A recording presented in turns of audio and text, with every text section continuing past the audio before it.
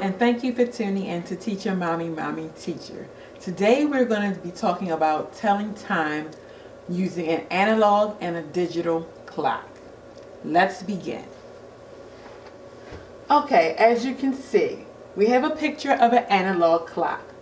Analog clocks are usually a circle face and they have a minute hand and an hour hand. Some have a second hand as well.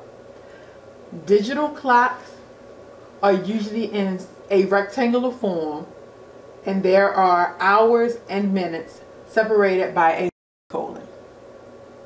Now, if you look around your house, I want you all to do a homework assignment for me. See how many analog clocks or digital clocks you can find in your home. Now, just to give you a hint, if you look on your microwave, you'll find one of these. You tell me which one it is that you find. Okay, so now I have created my own analog clock. Parents, it is made out of a paper plate, a thumbtack, two pieces of paper, and the pencil eraser on the back to secure in the thumbtack. Just a little project for you all. Now, for our analog clock, there is an hour hand, which is the short hand, and then there is a minute hand, which is the long hand.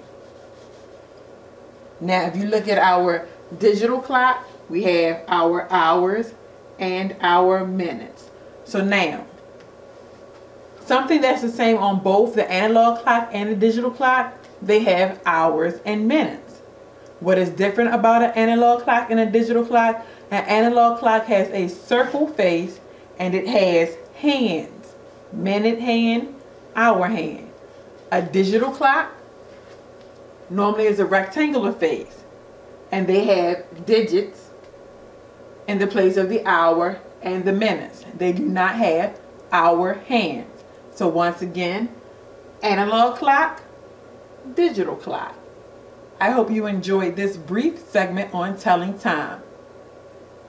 Thank you for tuning in to Teacher Mommy Mommy Teacher. If you would like to purchase any of my educational resource books, storybooks, or devotionals, please shop Amazon under my name, Jacqueline Jobes.